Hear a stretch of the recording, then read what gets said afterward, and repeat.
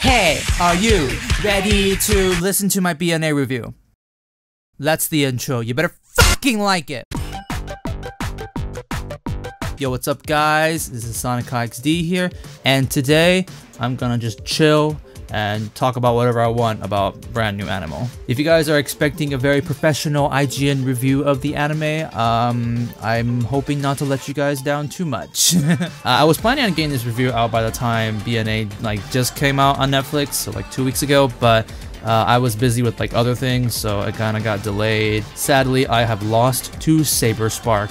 Boo hoo. So I know a lot of people wanted me to talk about this, so I'm excited and I'm going to get into my BNA review now. Spoiler free. I'll get to spoilers later on this video, but we're gonna start with, with a spoiler-free review. Basic synopsis. Uh, we got a worldview where there are humans and beastmen, and beastmen are looked down upon in this world. They are the minorities. So the beastmen form their own city called Anima City, where they can live in harmony and sing kumbaya. Our main character, uh, who was a human, accidentally turned into a beastman, and so because she does not want to be looked down upon by humans, she decides to run to the Anima City and live there happily. Except things obviously do not go that well. And also there's this hot werewolf character that will pop up eventually. So I heard you had two opinions about this anime. You either liked it or you didn't really like it, um, but you still appreciated some aspects of it, but overall you didn't really enjoy your experience. And I am, well, I personally may have liked it a little too much.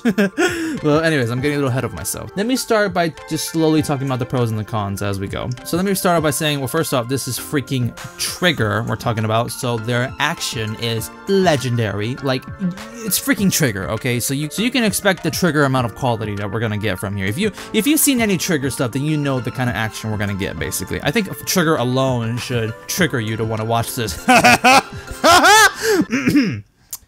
Why am I turning into a boomer?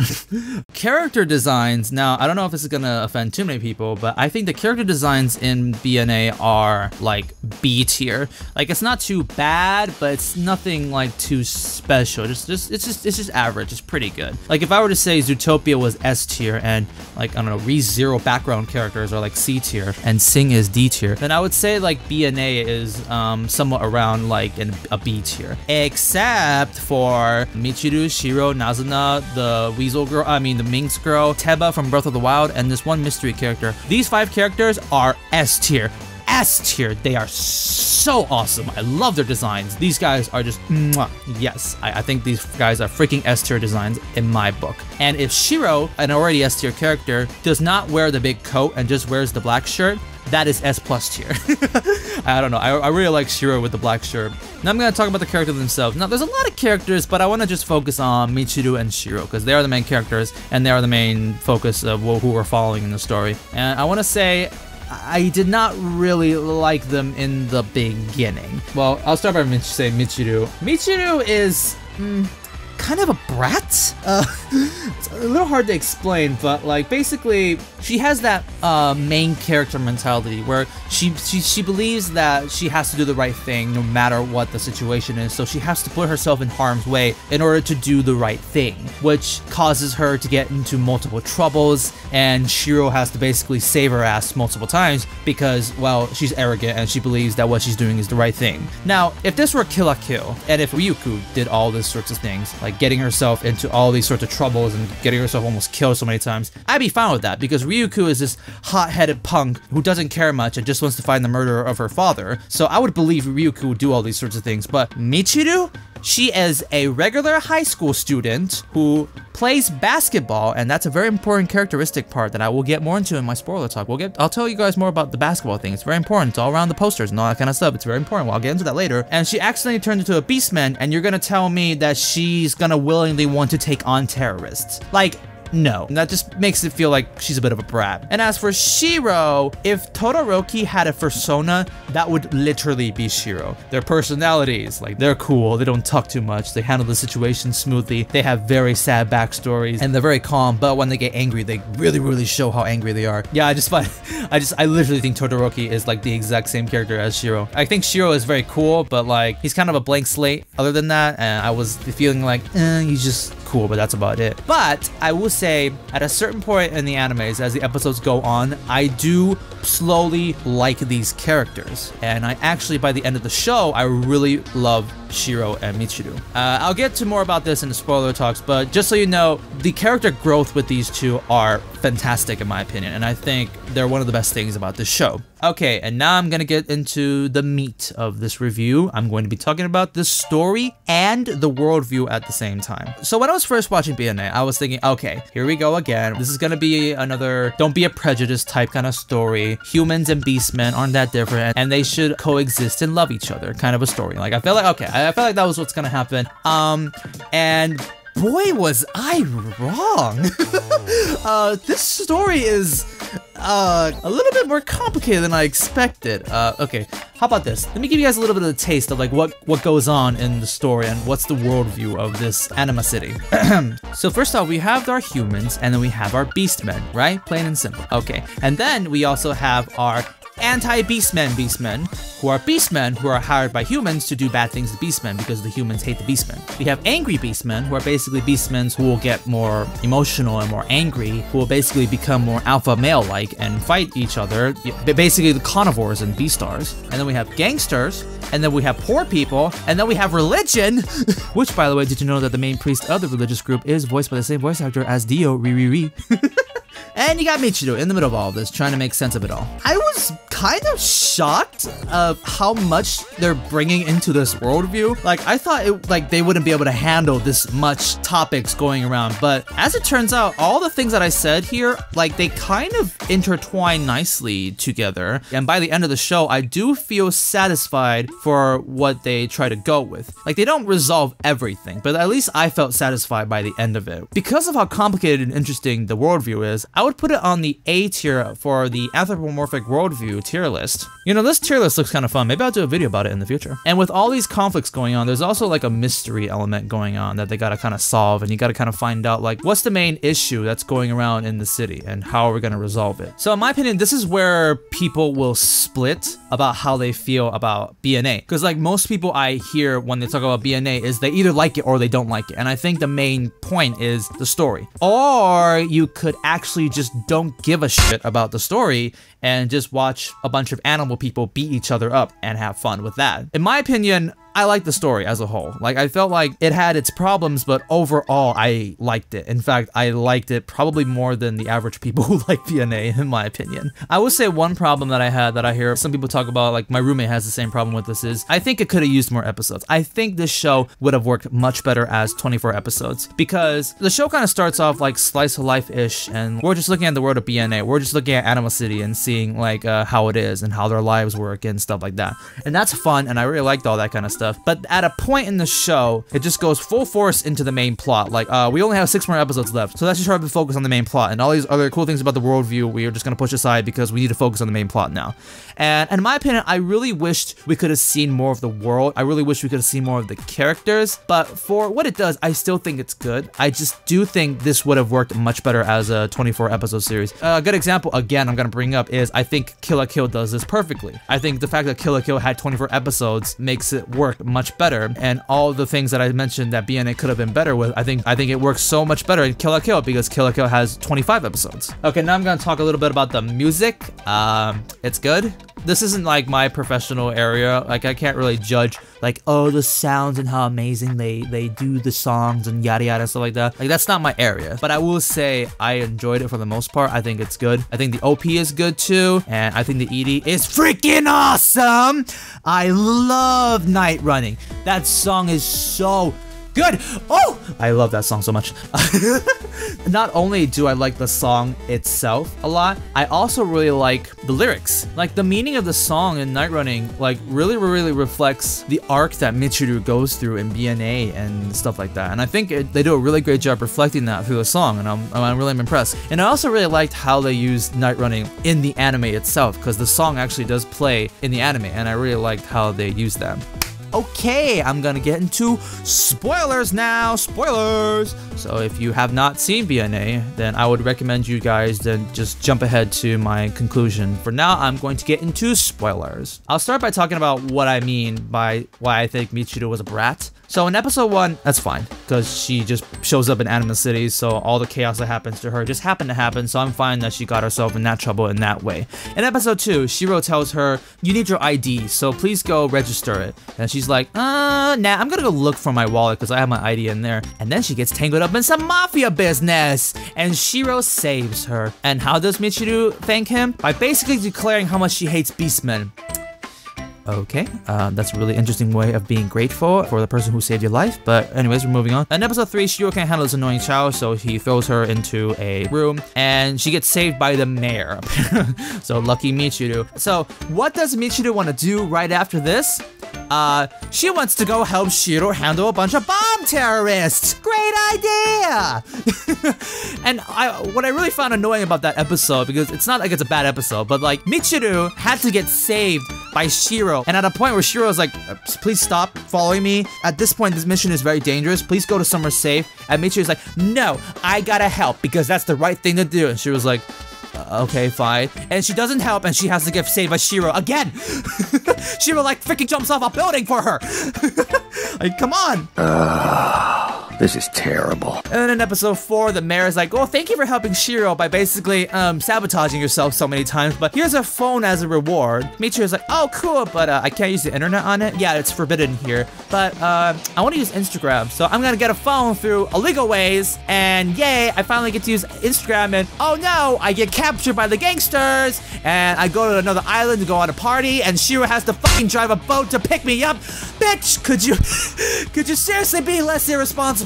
Like, at this point, when I was watching the show, I was like, okay, Shiro, you really need to like sit down and either like scold her, or you guys need like a training montage because like I am getting sick and tired of how much of a brat Michiru is. Like, oh, I gotta do the right thing, so I gotta literally keep putting myself in trouble. Like, come on, girl. Stop it. Episode 5 is perfect, so we're not gonna talk about that. Oh, but I do want to talk about one thing. Remember when I said that the whole basketball thing will come into play? Well, no, it does not. It freaking does not come into play throughout the whole entire show. I really thought that they were gonna do something with basketball because Michiru has that interest and it's in the posters and she has that hobby, but instead they play baseball. What the heck? Anyways, I just found it to be kind of funny. And in episode 6, she gets involved into a religious cult. Great freaking job. But I want to say I love episode 6. Why do I love episode 6? Because Nazuna freaking scolds her. Yes! Oh my gosh, I love that. So in episode 6, we see Michiru go to the religious group and finds out that Nazuna's there and wants to reconnect with her, and at the same time, she wants to get her out of this shady religious group and stuff like that. But at the end of the episode, Nazuna straight up calls out Michiru, and I freaking love it. She tells her that she thinks that whenever something wrong happens, that she has to use her own justice to solve the problem. But Nazuna assures her that she is doing this all on her own will, that she knows that the religious group is fake, but she wants to still do this because she thinks that this is the right thing to do. But Michiru doesn't care about how that how Nazuna feels, doesn't care about the situation. She just wants Nazuna out of there because she thinks that they're wrong, and that's why that she has to go save her. And Nazuna is not having it. Whenever something happened, you were always the first one to jump right in without thinking. You're still the same. You imagine things, jump in, make a judgment, decide that you feel sorry for other people, and then go and feel good about yourself for helping out even though no one asked you to. Aren't you just doing this to feel good about yourself? And I freaking love that. And this actually still reflects later on in the series too. Michiru like runs into the hospital because she thinks that Nazuna is in trouble, and it turns out Nazuna is just having a test. And then later on, when the Novosia syndrome is revealed, she tries to like stop Shiro because that's what she thinks is right. This is her character flaw, and she has to find a way to grow out of it. Not everything she thinks is right is always the right decision to do. And Nazuna calls her out on it, and then their friendship kind of breaks from there. And I also really like the relationship between Nazuna and Michiru because they slowly try to reconnect through the episodes. Michiru slowly starts to accept her. Nazuna slowly starts to open up to Michiru more, and they slowly, slowly become friends again. And I really, really like that about the show. And by episode 7, I finally accept Michiru for doing the missions and doing all that sorts of things. Because Shiro asks for Michiru's help. And at that point, I was like, okay, Michiru, I'm finally fine with you risking your life doing stupid things because Shiro now can depend on you. So at this point, I'm like, okay, I'm starting to like Michiru, and I'm fine if Michiru wants to do stupid things and give her life to save people because Shiro now can depend on you, and Shiro actually like accepts you. And that was the point where I start to slowly like Michiru. As for Shiro, I start to like Shiro after I hear his backstory. that's when I'm like, okay, I'm starting to like see your character, I'm starting to empathize more with you, and I'm starting to slowly, slowly like you. And from that point on, up to last episode, it's just the uphill of how much I start liking these characters. Next, I want to talk about the, I'm going to butcher this name for sure, the Nervasia Syndrome. Syndrome. I thought this was a very great plot point. In fact, this was basically what the show was leading up to. Like, what's all the mystery building up to was basically the Nervasia syndrome. And I really liked how it really, really hurt Shiro, especially because of his backstory, where like, it wasn't the humans who killed the animal people, it was basically they killed themselves and all that kind of stuff. My favorite line that came out between when Alan was explaining it to Michiru and Shiro, Alan said to Shiro, What other option do you have? Would you rather be a human or would you rather die? And then Shiro says, This is none of your human businesses, this is our own problems. You humans are. You're always like this. You feel the need to oppress Beastmen and you do it by force. If we don't do something, Beastmen will kill each other. Are you okay with that? I'm not gonna let a damn human make that decision. I love that. I felt that. I was like, yes, this is a conflict that I really, really freaking love. Sadly, I knew a Wreck-It Ralph was going to happen. And what I mean by that is in Wreck-It Ralph, uh, there was a plot line where, well, Wreck-It Ralph spoilers, where Vanellope is a glitch, and then like the the king shows up and he's like, well, you see, Vanellope cannot be a racer, not because we don't want her to be a racer, but because she's a glitch, and people are gonna think that the game is broken, and then they're gonna basically like uh, unplug the game, which is fine for all us video game characters. We can escape the game, but because she's a glitch, so she can't escape the game, and she has to stay in there. And when you unplug the game, you die in the game. And because of that, Ralph then has to destroy Vanellope's car. It takes a really dark turn. I thought that was really, really dark, and that was really, really good. Even though it turns out that was all a lie, and actually Vanellope was the main character of the video game, blah, blah, blah, you get what I mean? But my point is, if they had went with that original plot line, that movie would have been much more dark. And the same applies for BNA. I really wish that the Nervasia syndrome would have actually made a much bigger impact. They would have made an even harder choices for the characters and stuff like that. I kind of wish that like by the end of the show, like half the Beastmen decide that they don't want to have this, so they turn into humans, whereas the half the Beastmen want to keep their dignity, so they have to live with this and that kind of a situation. Like I would have liked if that was the case, which is why I really like Beastars because that kind of is the case in that show. So anyways, I'm gonna get into Alan, the main villain of the show. I kind of liked Alan. I thought he was interesting because while we're going through the show, we were kind of like examining, okay, so who's the villain of the show? Is it like the Prime Minister of the Humans? Is it the Dio Priest? Or is it like Alan? Or are they working with someone even more higher? I thought Alan was working for somebody bad. That was always what I thought, but Alan was the main villain of the show. And get ready for our triple Shyamalan twists coming up here. Our first twist is that Alan is the main villain. And from the looks of it, the reason why he wants to turn the Beastmen into humans is because he's a super racist and he hates Beastmen. So that's why he wants to turn them all into humans. At least that was what it seems like at the beginning, but then it turns out, Shyamalan plot twist number two, dun dun dun, Alan was a Beastman himself all along. Nani? It turns out the reason why he wants to turn all the Beastmen into humans is because they are not pure Beastmen. That's right. I, uh, all the Beastmen that you see right now in the city, they are all hybrid beastmen, which are basically like different beastmen have been mating with each other and creating basically hybrids. And it's because of these hybrids that the nervosia syndrome actually happened. And that's why Alan despises them. And Alan himself is like a pure beastman. They've always been keeping the bloodline the same, and that's why they don't have the nervosia syndrome and the other beastmen have it. And that's why he looks down upon the other beastmen, and that's why he wants to get rid of them. So first off, uh, Alan is Targaryen confirmed. the second thing is, I thought this plotline actually kind of reminded me of Ben 10, uh, the, the, the version where Ben 10 is like grown up, because there was kind of the same plotline going on in that with like the they're called the hybrids, I believe, like because they also are like the high up aliens and they want to like eradicate everyone else because they're not pure and they're not hybrid like they are. So that was the main conflict in the Ben 10 show. Funny enough, they actually kind of resolved the problem in that show, similar to how they resolved it in BNA. So I want to get back to BNA. I want to talk a little bit more about the character design again because my final mystery character who I said that I thought was also S tier is Alan but not necessarily his Beastman form. Now, his Beastman form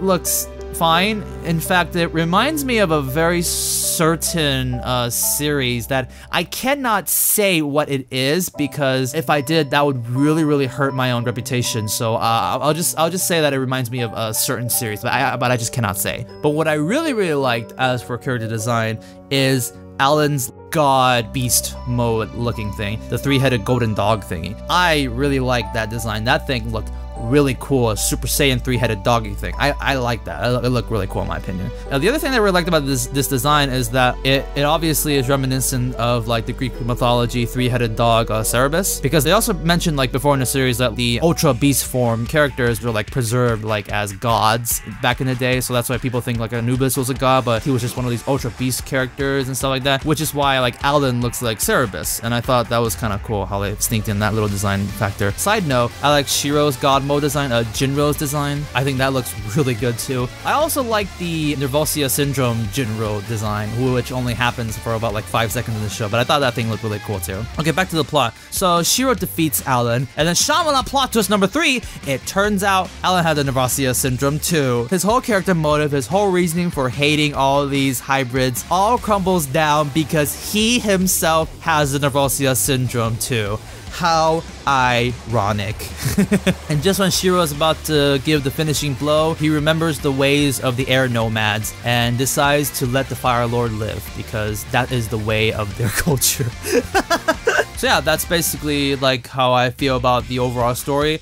As I stated, I like it but I also know people who don't like it. My roommate doesn't like the second half of the show. My brother likes the show all up until the last episode. Like he thinks the last episode is basically written by a little kindergarten kid. Like, like he hates that last episode. And I can get it. I, I feel like a lot of these episodes like felt a little rushed too. Rushed not in the sense that they came out rushed, but rushed in the sense because there was only 12 episodes to explain all this sorts of things. Me personally, I think it was still fine and I still liked it but that's just my personal opinion. One last thing I want to talk about uh, that I think is kind of funny is the moral of the story. Because at first it felt more like, oh, don't be prejudiced towards minorities. Everyone's the same, love each other, kind of a moral. But at the end, I think the moral of the story is take your vaccine.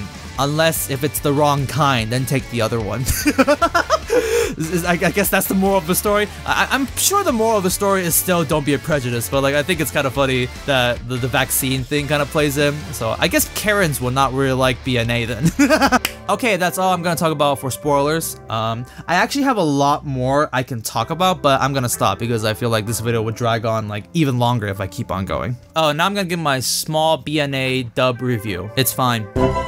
I'm not a dub person, I'm more of a sub person, so my opinion about English dubs aren't like, I'm not like that big on giving like opinions about English dubs. Like, it's good. I, I watched a couple of episodes and I think it's fine. If you want to watch this show with English speaking, I think it's good, and I think you guys will still enjoy it. And the main thing I should talk about about the BNA dub is that, uh, congratulations to Ben Diskin-san and getting a role in another anthropomorphic show again. And this time he actually got the main freaking character. So congratulations, congratulations, Ben Diskin-san. Uh, at this point, I am not going to be shocked when they announce that you're going to be in Zootopia 2. I am expecting that. So, overall, would I recommend this anime? Yes. It has good action, good characters, but I think the story is where people are gonna feel a little more, bit more divided. And I can't 100% tell you whether or not you would like this story, but I did. I think for the characters and the action alone, and the worldview, I think it's still very worth watching. Also, if you're a certain type of person, I think you will really, really, really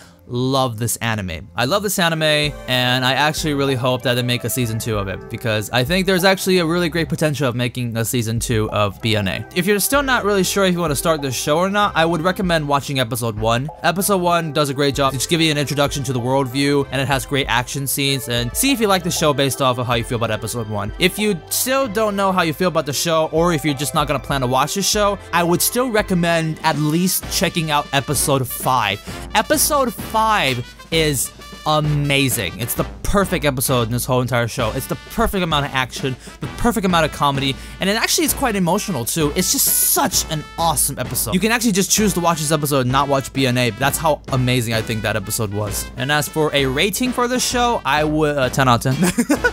no, I would rate it probably like an 8 out of 10. A very close to 9, 8 out of 10, but like an 8 out of 10. And an 8.9 out of 10 basically. That's that's how I would rate this show. Okay, uh that's all I have to say. I don't know how to end this video. Hmm. Oh, I know. If you like night running, then go listen to Amy. Amy is the singer of Night Running, and she does some amazing other songs. Her name is spelled A-A-A-M-Y-Y-Y, triple A-M, triple Y. Uh, it's a funny name, but her songs are amazing. Okay, that's the video. That's the video! Thank you for watching!